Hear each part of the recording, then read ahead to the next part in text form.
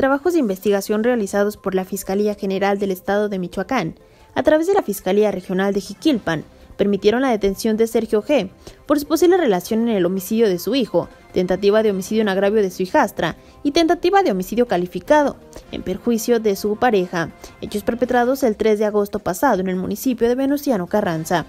De acuerdo con datos que constan en la carpeta de investigación, ese día el imputado viajaba a bordo de una camioneta marca Nissan con los menores ARG y WERG de 11 meses y 3 años de edad respectivamente, y con Zaira Daniela J., madre de los mismos, cuando en un momento determinado se detuvo en una brecha del camino que conduce hacia la comunidad de Las Palmas y sin mediar palabras, comenzó a golpear y a tratar de estrangular a la mujer, para después atacar a golpes al menor de 11 meses, mientras los amenazaba con quitarles la vida, por lo que era agraviada corrió hacia la carretera para pedir auxilio.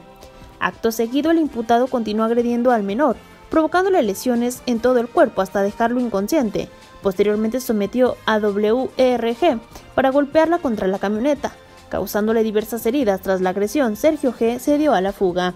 Con el apoyo de unos transeúntes, la madre y los menores fueron trasladados a un osocomio de Zaguayo para que les brindaran atención médica. Sin embargo, el menor ARG falleció minutos después a consecuencia de las lesiones provocadas por Sergio G, mientras que la vida de la menor también se encuentra en peligro por la misma causa. Estos hechos fueron del conocimiento de la Fiscalía Regional, que de inmediato dio inicio a las investigaciones, las cuales permitieron solicitar una orden de aprehensión, misma que fue obsequiada por un juez de control. La tarde de ayer miércoles, en cumplimiento al mandato judicial, personal de la Fiscalía General del Estado detuvo a Sergio G., quien fue ingresado en el centro penitenciario local de Zaguayo, a espera de que la autoridad resuelva su situación jurídica. Informó para Red 113, Los Más Cervantes.